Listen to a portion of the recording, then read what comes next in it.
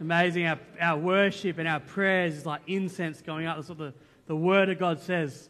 And so when we sing that line, you know, we're, we're saying, may our prayers and worship go up to God all day, all night, our whole life, may it all be worship.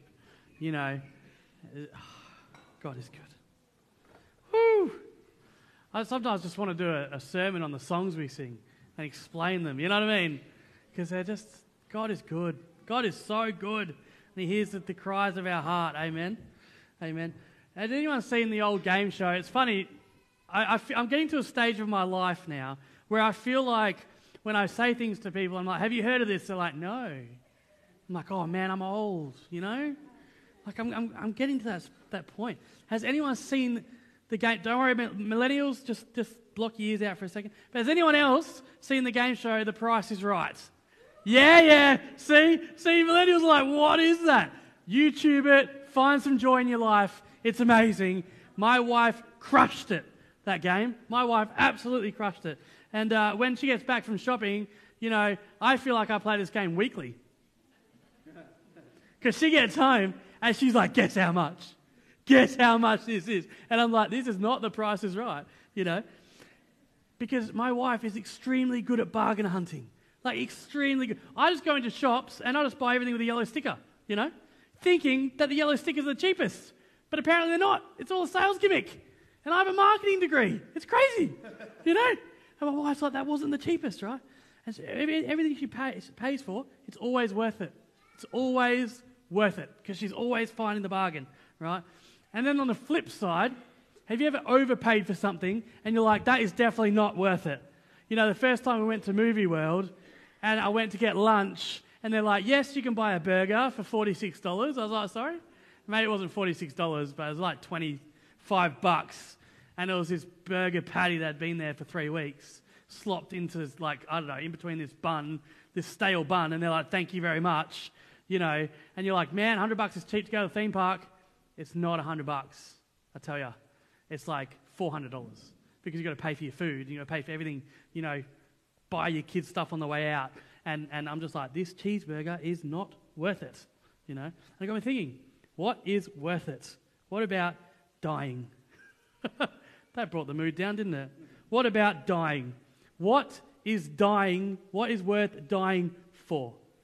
We know what Jesus thought was worth dying for, and that was you, which we know brought him glory because he was the only one that could do it. Amen. That's why it brings him glory because he's the only one that could have gone to the cross. But make no mistake, you were worth dying for. And our big question today, the title of the message is called Is It Worth It? Is it worth it? And you can change, that, interchange that little it for anything in your life. And my hope is that today we will understand that everything we do, everything we do in our life, we ask ourselves, is it worth it? And we answer it with yes because you then choose to do it. Does that make sense? People say, I don't have any time. No, no, you have plenty of time. What you don't have is the right priorities because everyone has the same amount of time. And, um, you know, we went through this with our young guys and we say, instead of saying, oh, I just didn't have time for that, just change your language to that wasn't my priority. And it's amazing what that will highlight for you in your life. And today we're talking about is it worth it? What is worth doing in this life for you? Whoa, it's going to be good. It's going to be good. Oh, it's good. I feel it's good already. All right, we are in a sermon series called The Almighty and All of Us. And what we're doing is we're going through uh, our values as a church and how we're partnering up with God to take back the kingdom of darkness for God and for His glory in the Vasse region and how that looks like. And if you are here, if you're new, if you're visiting, I just want to encourage you that God has a message for you. Don't switch off now and be like, oh, they're going through their internal church stuff. God can't say anything to me. God is bigger than that. Amen. And he has a word for you. I mean, when we when we're in announcements, like, and this is not for condemnation, but I don't know if I heard it the same way that you heard it. But two million children took a discipleship course for Christ. Amen. and everyone's still nodding at me, that deserves some praise. Amen. Send some incense up to the Lord Almighty for what He is doing. And if you think for one second that you can sit here and God does not have something for your heart that is going to change you for your good and His glory, you have another thing coming. Amen. And that is going to be conviction of the Holy Spirit. And you just have to go, Yes, Lord, I want it today and I want it every day. And I just want to be changed for your glory because of what you did for me on the cross. Amen. Woo!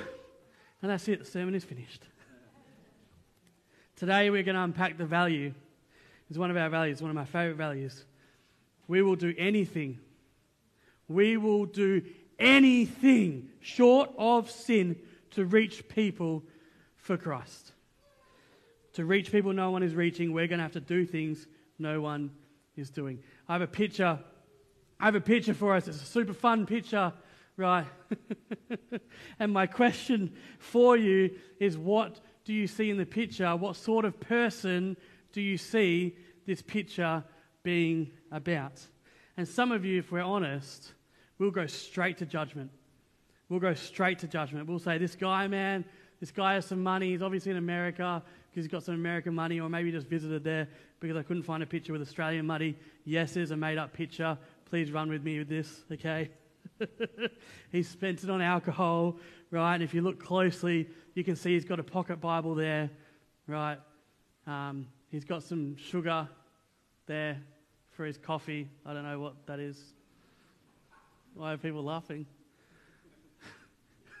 it's got a, a, one of our church bands in the picture as well. So he obviously came to our opening day, right? And you might be like, man, church ain't helping this guy. You know, he's come, obviously, and it's not doing him much good. You know, what a sinner. He's got some metallic, I don't know what that is on the left hand side there. You know, what I see, what I see is maybe, maybe maybe he's someone has offered him a Bible at some point in his life and he said yes to that Bible. Amen. Amen. I see someone down in their situation. Maybe they're currently making poor choices in their life. Maybe they are struggling with their dosing with alcohol and sugar, you know, uh, instead of coming to Christ. But I see someone that is searching. I see someone that is searching for an answer, someone that is dosing their pain in maybe the wrong things, but there is an internal struggle here. Amen. There is an internal struggle. There is a sinner here that is making poor choices in a tough situation, and I see someone that is one decision away from becoming a new creation. Amen. I see someone that is one decision away from going from death to life. Amen. That they are one decision away from being convicted by the Holy Spirit and saying, Lord Jesus, I choose you. And I see a person that Jesus came and died for. That is what I see when I see this picture. I see a sort of the person that we would welcome in this church that we would say, Come in and feel the grace of God and feel the mercy and let Him transform your life without judgment. Amen. I see someone that we'll give grace to and say, Hey, man, grace says that you are loved. Grace says that you are a child of God, and the truth says that stuff is hurting you. Amen. And there is something better than whatever you're doing, whatever vice this is that you're doing to make yourself feel better. There is something better than that, and His name is Jesus Christ and He doesn't offer you temporary solutions, He offers you permanent life. Amen. So come and feel the grace of God with us and worship in this place. Amen. Jesus did not come for the healthy, He came for the sick, and these people are the sick. Amen. Luke 5:32. I have not come to call the righteous, but sinners to repentance. One of our values. We will do anything short of sin to reach people for Christ.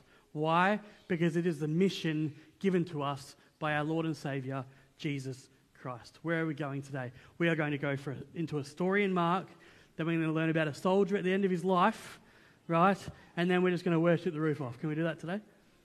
All right. Father God, we pray and we hope that you will open our hearts this morning, Lord, that anything that is said from this place, Lord, is, is directly from you, Father God. And so I ask for your Holy Spirit to convict me, Lord, in what to preach and what to leave out, Father, and what to say and what not to say, Father God.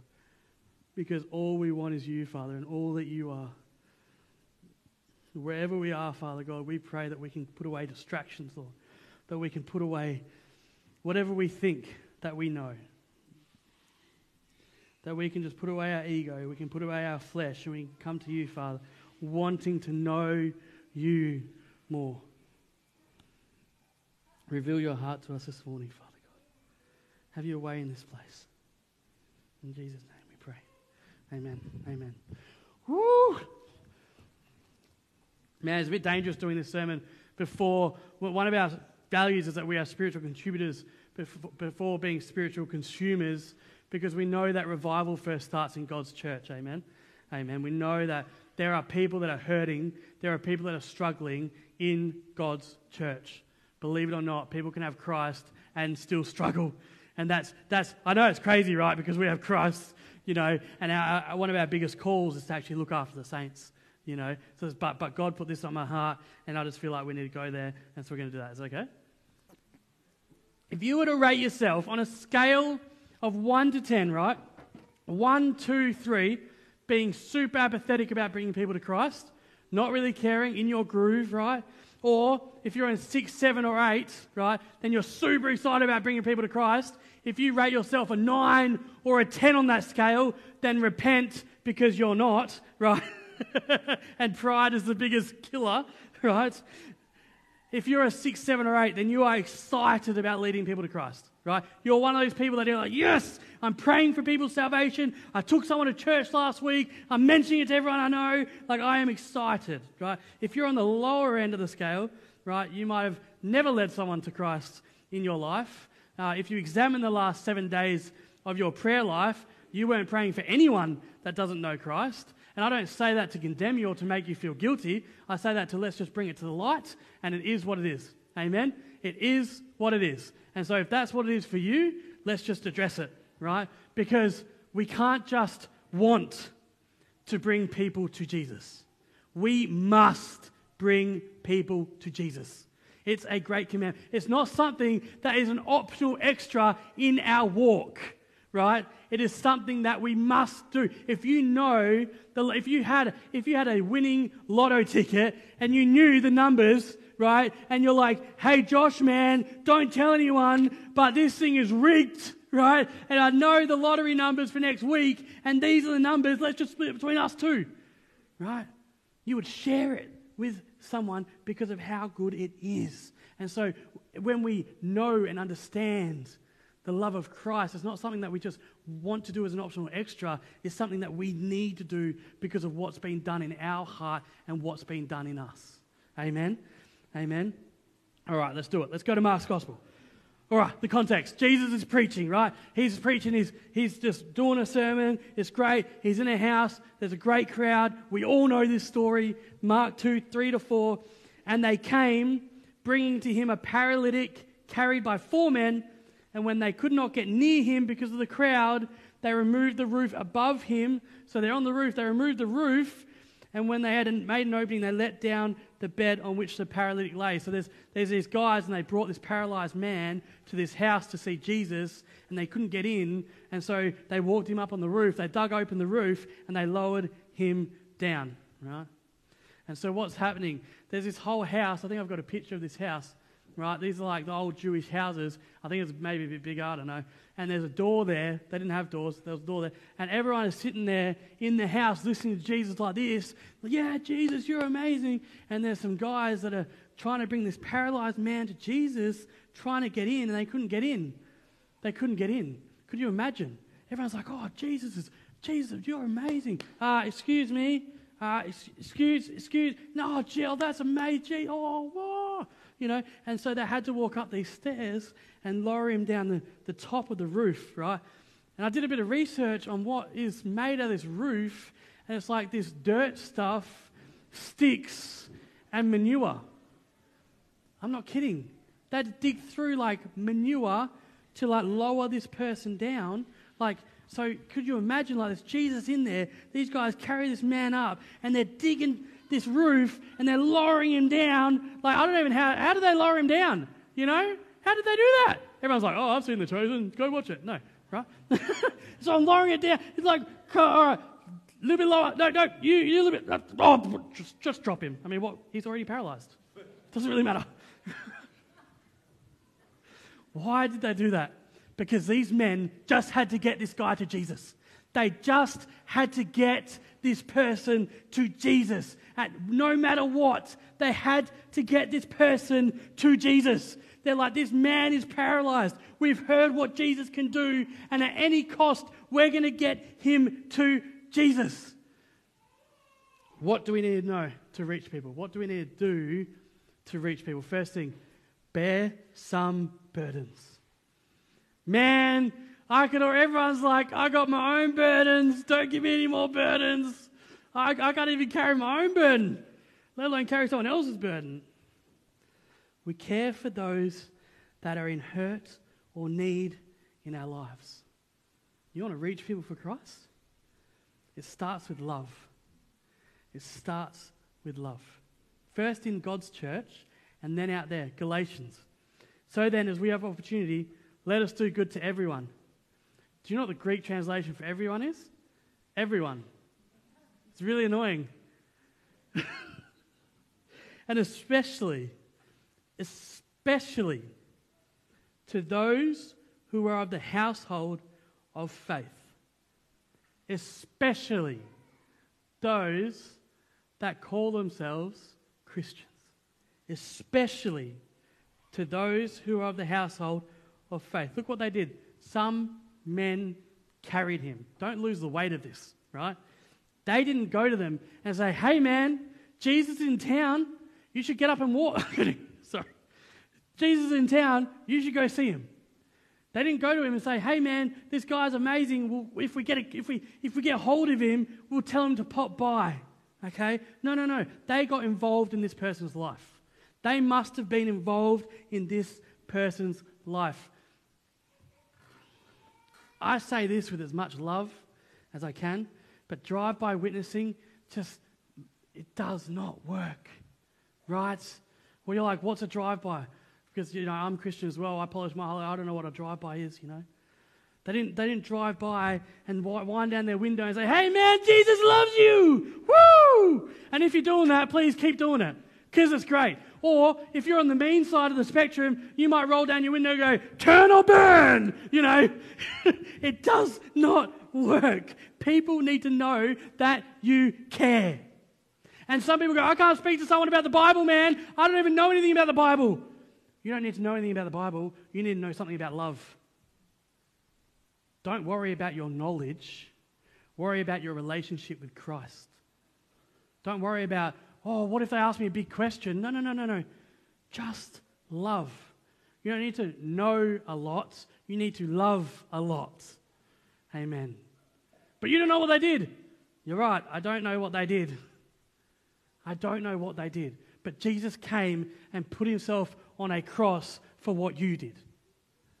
And because of that, we can go love someone unconditionally. Because that's what Jesus offers you when you repent. And so we can love others. We can love others. Amen? Amen. We can love a lot. We are with people. We bear their burdens we talk, we care, and we earn the right to be heard. We earn the right to be heard. We have a guy in our church. I was going to put a picture up, up of him, but I feel like that would have been too embarrassing. But everyone knows Tony Heritage, and he's absolutely. Sorry, Tony. He's absolutely amazing. And this story, I've actually changed the name and, and changed the activity for, for privacy concerns. But I just remember I was around at his house one day. And I mean, man, this guy has a heart for Jesus, you know, and, and he offers this to me. Was I too blunt? And I'm like, man, just be you, bro. I wish I could be that blunt, you know. And he just has a heart for Jesus. And I was around in his place one day and we are trying to work out this sermon illustration. And I said, Oh, what are you doing? And he's like, Oh, I'm just going to go take this guy, Steve, and I'm going to take him rock climbing, right? And I was like, What do you mean? And he's like, Yeah, I'm just going to go out with him and we're just going to talk. And, and, and yeah, he really needs someone to talk to. And he went out and he spoke to this person. And then he told me what they spoke about. And man, I was like, Whoa. Like, it wasn't enough just to give this guy a call. It wasn't enough just to slap him down with the truth. But he took time out of his day to go do an activity together where this guy opened up, and I mean, it wasn't rock climbing, but if it was and the guy did something wrong, he'd probably just push him off. But, you know, but he, he got to know and listen to this person's heart, right? And then he delivered, he earned the right through repeated activity to deliver some truth to this person. And I know by all accounts that this truth was actually taken on really well. And, and because of that, this person has a relationship with Christ and is continuing to have a relationship with Christ just because Tony decided I'm actually going to take time out of my day to do an activity with this person that is struggling instead of saying, hey, mate, buck her up. First, I'm going to take you out. Then I'm going to tell you, hey, mate, bucker up. Amen. But Tony had earned the right to have this conversation with someone. And that story absolutely blessed my heart. Amen. Amen. This is happening. We, we are with people. We are activating with people. We are bearing their burdens, and we earn the right to be heard. To change someone's perspective, you have to get a seat at their table. So often, we are across the road ditching stones at their house and telling them how bad their sin is and how awful they are when we, we don't even want to we don't even want to sit down and try and hear their hearts and, and change their perspective. To change someone's perspective, you need a seat at their table. What did Jesus do? You're looking at me like, oh, but you don't know how bad their sin is. What did Jesus do? He sat and ate with the sinners. And these were the people that were outwardly sinning. These were not the people that were like, because remember, before Jesus came, we're all sinners. So when it says sinners in the Bible, these were the people at the table with the sugar and the alcohol that were outwardly sinning. And Jesus says, hey man, there's a better way. Let's eat together, and I'm going to tell you all about it. Amen. Most of us are so scared about sitting at the table. Most of us don't even want to sit. We're like, no way, not with that guy. Do you know what that guy did? There is no way. Get a seat at the table. Get a seat at the table. And if you need someone to talk to, pull out a chair at your table and offer someone to come and sit down. Don't sit at your table and eat alone. Pull out the chair and say, hey man, I actually just need someone to sit with. I need someone to eat with. I'm really struggling. And it's okay to struggle as a Christian. Please hear me. If you weren't here the last three weeks, go watch them and realize it's okay to struggle as a Christian. Amen? What were they doing? The men got there. The men got to this house and they're all sitting there clapping. Come on, Jesus. Woo! Yeah, yeah, Jesus, you're the one. You're the one. Gee, yeah, Jesus, yeah. Oh, yes. Oh, that's a good oh, That's a nugget. That is a nugget. I've got my nugget. And now I can just go home and I've got my nugget and I'm all good. Worship the Lord. I wish this service would finish soon because I've got lunch plans. Uh, I've, got, I've got my nugget and I've. Woo! Woo! One person had to turn. One person had to turn and see this man that was paralyzed. One person at the door. If one person turned, there was no need to go up on the, on the roof. If one person had any idea what was going on outside their holy huddle, they wouldn't have to go up on the roof. This is my encouragement. Let's be a church that turns. Let's be a church that turns. Let's not be a church that is so engrossed with what is happening in our own circles and we don't turn to see the need in our church. I'm not even talking about the need out there right now. I'm talking about the need right here. Amen. Let's be a church. That, this mystery dinner, I, I, I encourage you to go. Just meet someone that you may not have a, huge relationship with because God may have given you a gift perfect for that situation. And you might go to mystery guest dinner and you, you might be a person, they'll be like, man, I just want to be used. I just want to be used. Mystery guest dinner, no. I just want to be used. No mystery guest dinner. Okay, I'll sign up. And you go to mystery guest and you're like, man, I don't want to go to this thing. I don't want to meet new people. This is really a lot of energy to meet a new person. And you sit down and they're going through an experience that you have gone through and that you have conquered and that you can speak into. And you be like, man, I'm being used. Amen. Go to the mystery dinner. You might have the antidote for someone else. You might be the one that's hurting, that someone else has the antidote for you. Amen. This is not just, I mean, it is about connection and it is about knowing people, but we believe that everything that we do can be used by God for His glory and your freedom. Amen. Don't discourage it. Don't discourage it. Be like, okay, man, I'm all in. I'm going to do it. If God's, if God's on it, I'm going to be on it. Let's be a church that turns. When, when Jesus and Peter were walking towards the, uh, the temple one time in Acts, you know, it says, Acts 3 to 4, they, they saw this lame man that was sitting there, and Peter directed his gaze at him. Peter directed, they were on the way somewhere else. They were going to the temple. They didn't have time for this. And yet, Peter directed his gaze at him.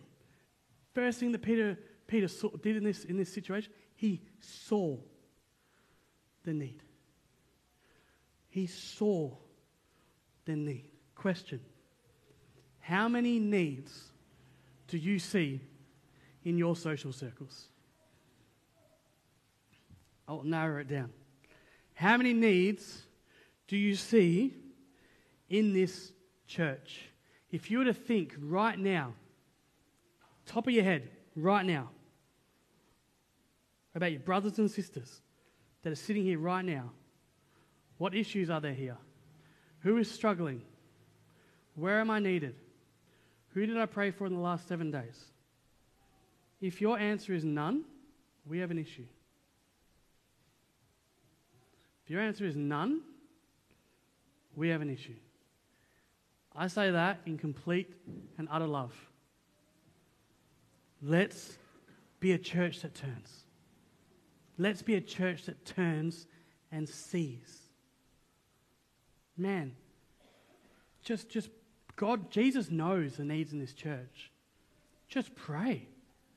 But hey, people that are struggling in our church, please reveal it to me. And if you don't want to reveal it to me, Jesus, just do what you do. Like heal that person. Be there for that person. I'm praying for my brothers and sisters that I rub shoulders with this week. There is someone there that might be struggling, Lord, and I, and I know that my prayers matter, and you want my bold prayers, and so I'm just going to pray for you. I'm going to pray for this person, whoever it may be. And God might say, you know, at some point, God might say, bam, it's this person. And He might not. And it would be the biggest privilege in the world if God said, bam, it's this person. And I'm going to use you to heal that situation. Or He might just hear your prayers and anything you ask for in Jesus' name will be done. Amen. Just start praying for people. Just start praying for people in the congregation. That's it. Okay. First half of the sermon done.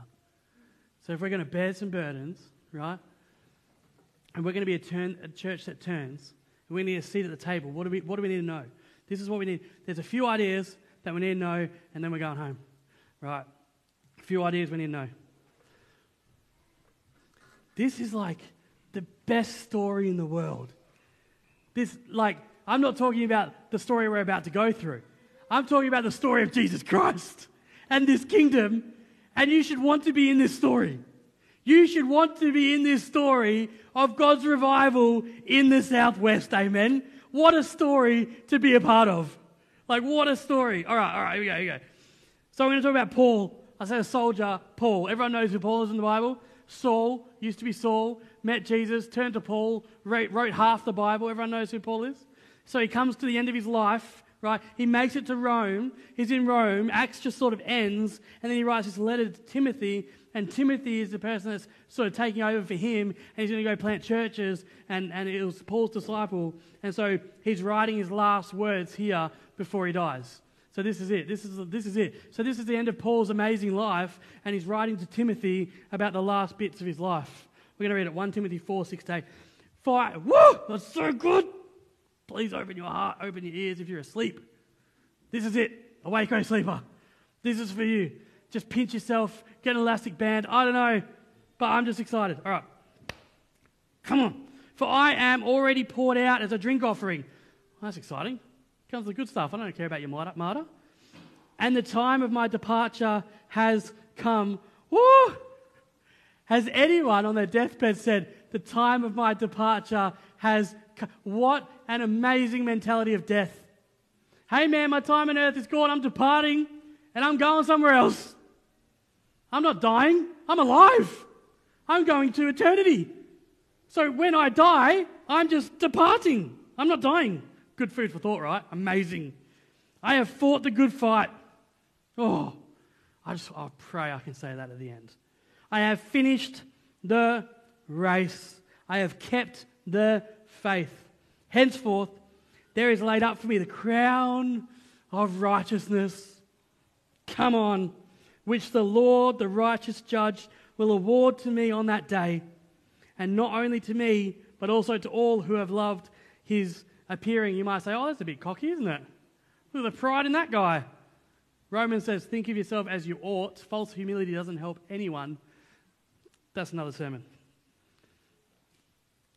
What an amazing ending to his life.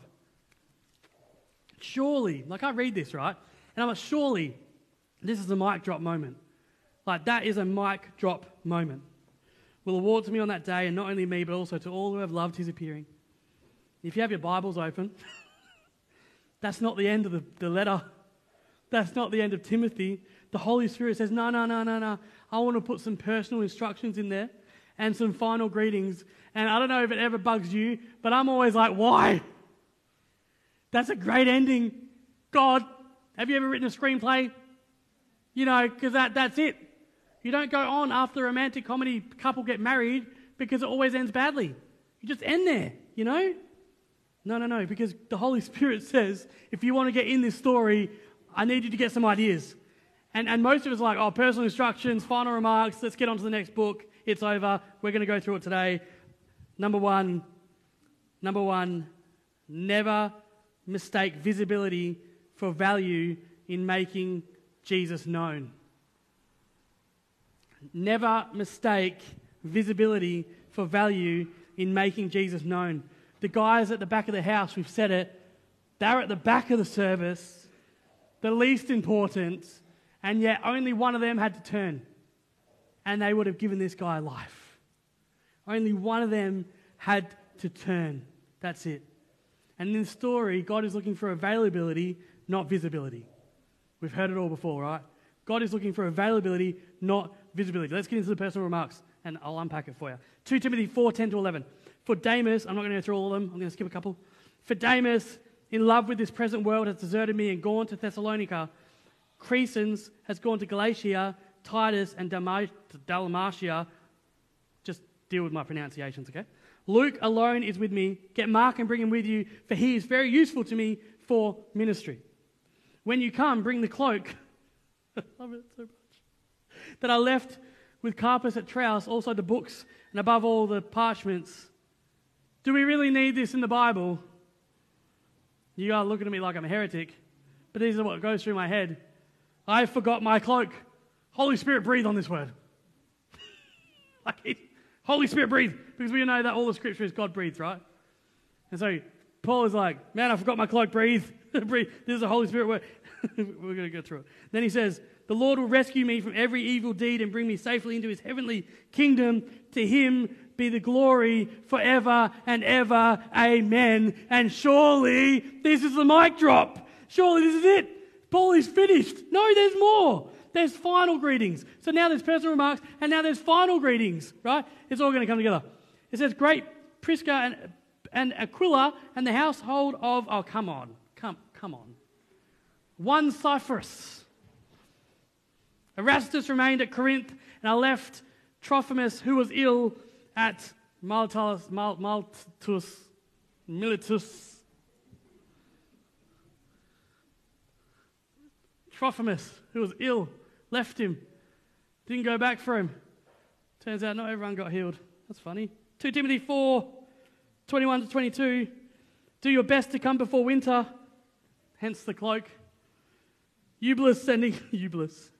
Anyone uh, need some like baby names? Eubulus. There you go. Eubulus sends greetings to you. So do Pudens and Linus and Claudia and all the brothers. The Lord be with your spirit. Grace be with you. And that's the mic drop. Value and visibility do not go hand in hand. Everyone knows Paul, but at the end of the story, there's a lot of people in this story. You go to the last chapter of Romans, and it's Paul just thanking everyone for how much they helped him. And we don't know any of these people, you know, except for maybe Priscilla and Aquila, who's, who's in the Bible. But everyone else there, you're like, who are that? Who's that? I think I heard Mark and Luke. They wrote some Gospels, didn't they? They're important. But what about the other people that they mentioned, right? Who were they? They weren't visible, but they had value enough to be in the Holy Spirit breathed Word of God. And to me, that tells me that's a lot of value. Visibility and value do not go hand in hand. And I want to be clear yes, someone is going to get lifted up. Someone is going to get lifted up. Someone is going to get elevated. Someone is going to have lights put on them, right? That is going to happen. But the only way that this value works in our church is that if everyone is in this story. That's the way it works. If everyone is in this, and I'm not talking about serving in church. I'm talking about serving the kingdom. I'm talking about a mentality that says, I want to be in this story.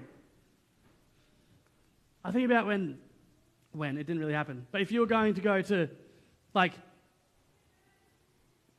hospital and have a triple bypass surgery in your heart, you need a specialist for that, right? Like your mate can be like, hey man, I can give it a crack, but I'm pretty sure you're going to go to a specialist to get that done.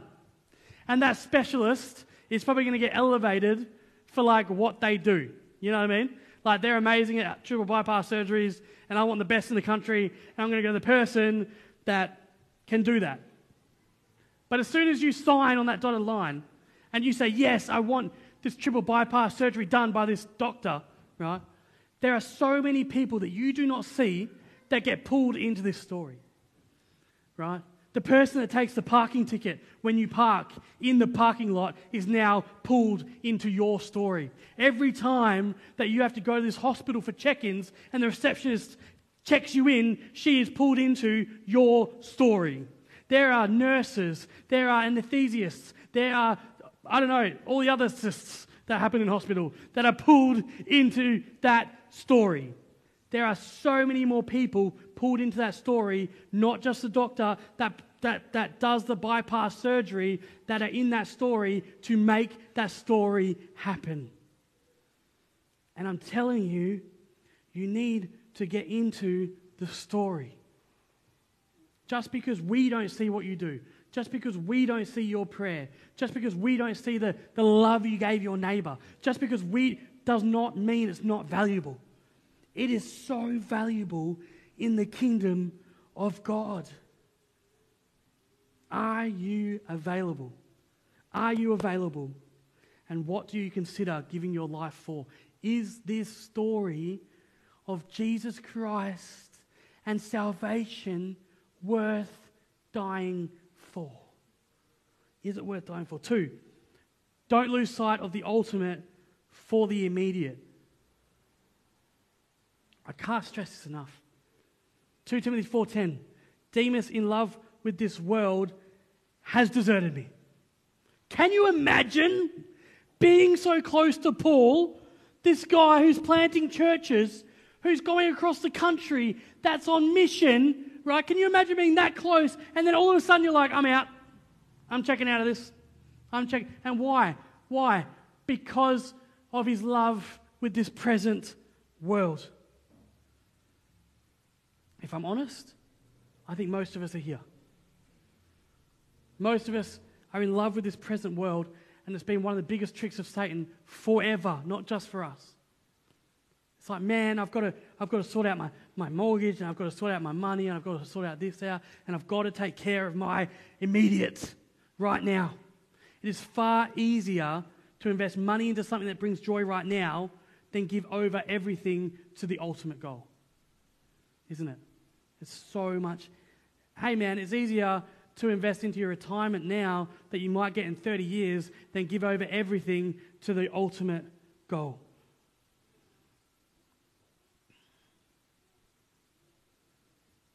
And maybe we're pouring into the immediate and we've forgotten the ultimate. We've forgotten eternity. We've forgotten the crown of righteousness. We've forgotten that when we get there, we want Jesus to say, Well done, you good and faithful servant. Maybe we've forgotten that the people that we care about that don't know Christ, we've forgotten where they're going. Maybe we've forgotten about the ultimate and we're just dosing with the immediate.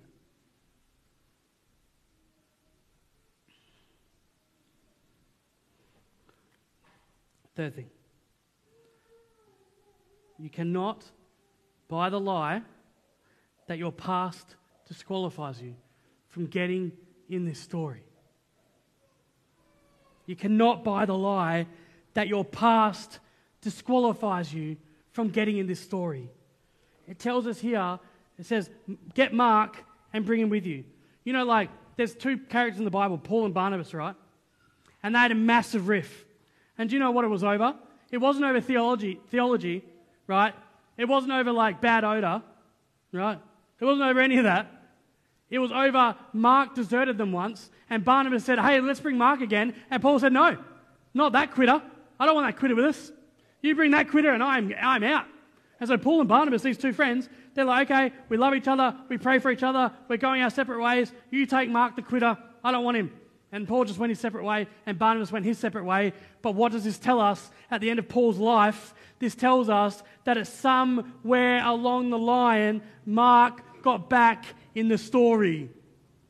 Mark got back in the story. Paul says, hey, that, that quitter, bring Mark back. And Mark is restored right here in the fine print of the Bible in personal remarks. Not, not, a, not, a, not a mic drop moment, right? It wasn't like a big glory moment, but God wants you to know that you can get back in the story.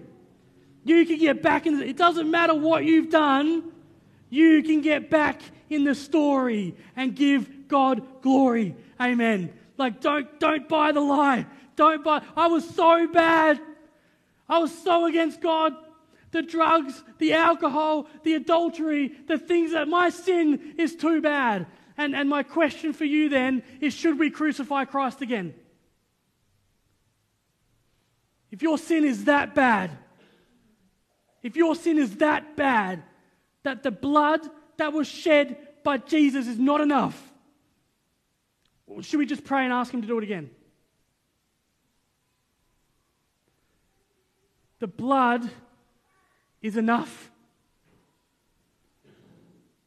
I am begging you to know in your heart of hearts that your deepest, darkest sin that you have right now, you can bring to the cross right now and be forgiven right now if you repent from it because the blood was enough.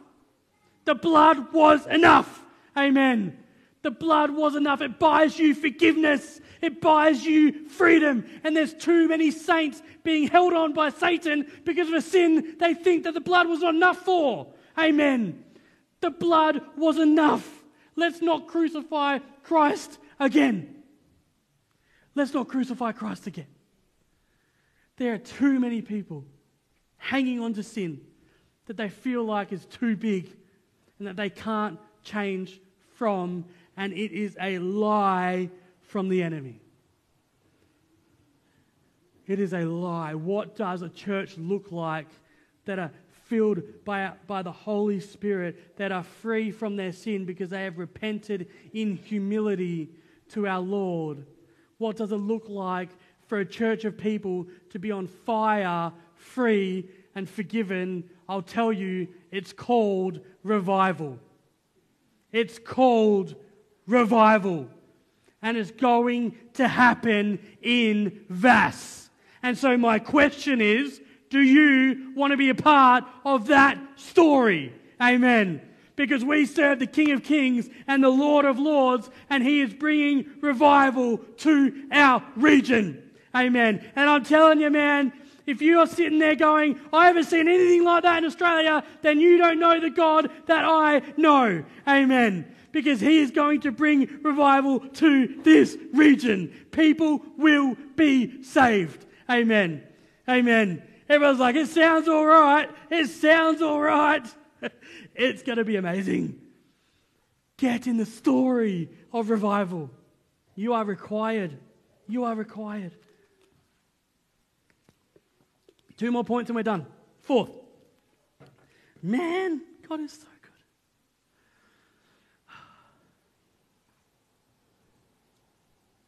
We understand that no ask is too small because our King is so great. You know, when we put out these huge statements like, we'll do anything short of sin, everyone's like, oh man, they're going to do big things. Would you make someone a cup of coffee? Or is that beneath you? Because anything is the big things and the small things. Verse 13 Go get my cloak. Are you kidding me? Are you kidding me? The Holy Spirit breathed out a word in the Word of God that says, Bring me my cloak. I'm just, what? Like, I know I've said it like three times, but I, I, I, I, what? And I believe the Holy Spirit wrote this so that we can know that there is no job too small if our King is so great. And our enemy will tell you this is what he'll tell you you are not visible, no one cares about you. That thing that you served in didn't, didn't help, no one saw it. You are not visible, so that you are not valuable, and then you become unavailable. And you write yourself out of the story. You are not visible, and so you're not, you're not valuable, and so you become unavailable, and you write yourself out of the story. There is no job too small. Bring me my cloak. Man, if the king is inviting me, there is nothing beneath me. I wish I had this picture. I've searched and searched and searched and searched so you would believe me, but I just could not find this picture it's really annoying, so you're just going to have to believe me, right? Um, there's, there's this guy, there's this singer, and his name is uh, Jay Sean. Does anyone know who Jay Sean is? Everyone's like, no, I'm a Christian. I don't know who Jay Sean is. Look, he's a rapper. The drink was probably his. Um, kid, kidding, kidding. But he's this rapper dude. He was quite famous for a bit. I think he had one big song and then he just like failed into oblivion. I don't know, right? But anyway, I, w- I worked with this guy when I was 18 and he's like, hey man, like, do you know who Jay Sean is? And at the time, I was like, not a Christian, and I know who Jay Sean. I was like, do I know who Jay Sean is? Like, Jay Sean was like the third song in the club every single weekend. I knew who Jay Sean was, right? And you're like, oh, you sinner. No, no, it's fine, right? And I'm like, yeah, I know who Jay Sean is. And he's like, I went to school with him. I sat in his class. I sat next. I was his friend. And I was like, no, you weren't. You were not his friend. I was like, I don't believe you, right? And then he showed me this picture of him carrying Jay Sean's school bag. And he's like, Look, man, I carried Jay Sean's school bag. And I was like, Whoa, that's amazing. I was like 17, so don't judge me. I was like, Man, you're like nearly famous. You're pretty much famous by association. Like, I think you should print these, and if you sign it, I'll give you $20. And I, I, I wish that was a fake story, but I paid him and I can't find the picture because he was carrying Jay Sean's bags. And, and he, he was so excited to be carrying a famous person's bags And, and I want you to know that there is no job too small if our King is that great. Amen. If we as a church can overcome this idea that there are little things and there are big things in the kingdom of God, we'll do anything for the king of God, for the king. Amen. We'll do any there's not little things and there's not big things, there's just things. There's just things. Everyone is so obsessed with the platform. It's not about a platform. It's about people. It's about Jesus. There's not little things and big things. There are just big, they're just things. And if God is going to ask me to hold something, I'm just going to hold it. If, if God is going to ask you, hey, I just want you to hold this little thing for me, man, who am I? Who am I that the King of Kings and the Lord of Lords is asking me to hold something? Like, imagine if Jesus walked in, he's like, Mat, can you just, can you just carry my bags? I'd be like, man, I'll carry your bags. I'll take a picture, I'll hashtag that thing everywhere. You know, like I carry Jesus' bags. I think it'd be funny if Jesus, you know, I think it'd be funny. There are things that Jesus is asking you to hold. And some of us are like, nope, not that thing. I'm called for something bigger. I'm called for something more.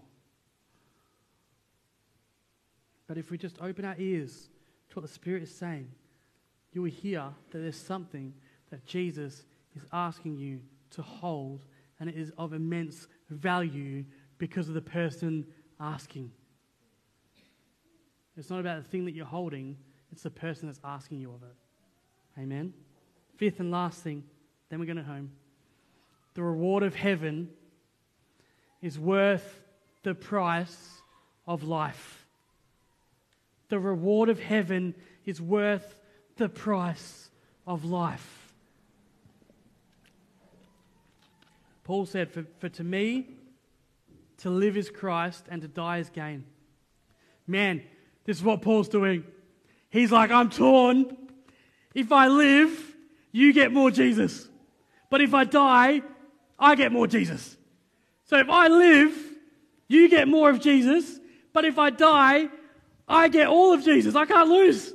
I can't, you can't lose. Nero was a king that lost his mind and he started persecuting Christians, right? Paul says here, I'm being poured out like a drink offering. Peter was crucified upside down, right? Paul couldn't be crucified because he was a Roman citizen. And so church tradition tells us that his head was cut off, that Paul was actually beheaded, right?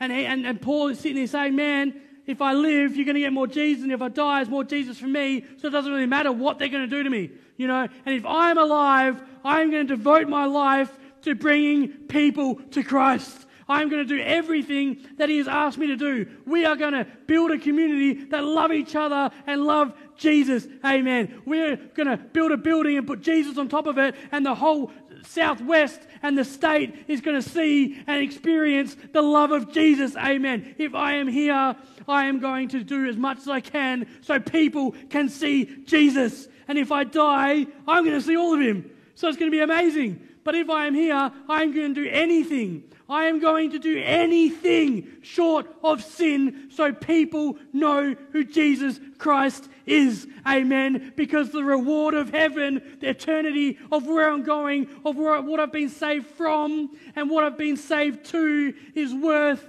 my life.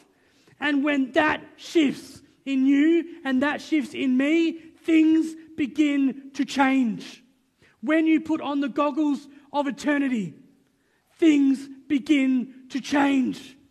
When you, when you suffer and you go, man, this is like a tiny little bit of suffering compared to what Jesus suffered, and I count all glory to Him, things begin to change. To live is more Jesus for you, and to die is all of Jesus for me. To live is more Jesus for you, and to die is more Jesus for me. What does this mean for you? What does this mean for you? How have you committed your life to Jesus, to bringing people to the light? I see a church full of people who knows what it's like to be sick. I see a church full of people that knows what it's like to be healed. Amen. Amen. I, I see a church full of people that know what it's like to be a dark and desperate sinner. And I see a church full of people that knows what it's like to be forgiven and set free. And when you know all of that, when you know all of that, when you know where you came from, where you know you've been saved to, you will do anything, big or small, visible or not visible, to bring people to Christ. Because we will be a church that carries burdens. Amen. We will be a church that carries burdens. We will be a church that turns and sees. Amen.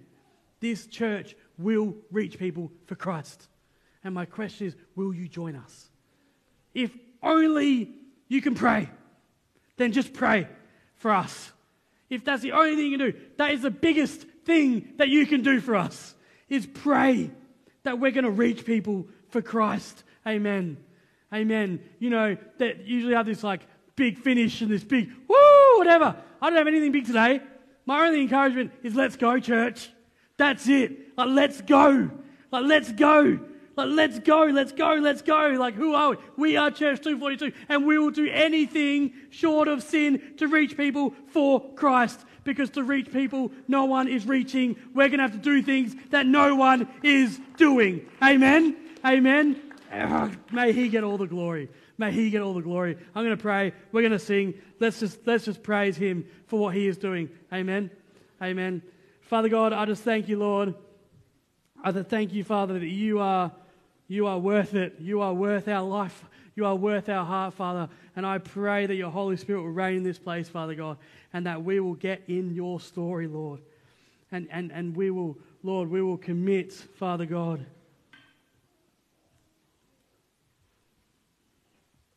Oh, Lord. Lord, I just thank you, Father, that you meet us, Father, where we are, Lord. Father God, that if we are broken, if we are desperate, if we are hurting, Father, you are there. You are there healing, Father. You are there offering us relationship. You are there offering us companionship, Father God.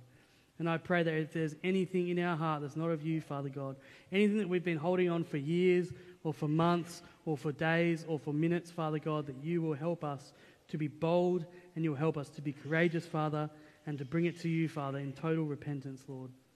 Jesus, this is your church. You are the head of this church, Father God. And we want to bring people to your love. We want to bring people to your life. We want to bring people to your freedom and to your forgiveness, Lord. And we just thank you that we get to be used by you. It's such a privilege. In Jesus' name we pray. Amen. Amen. Let's stand.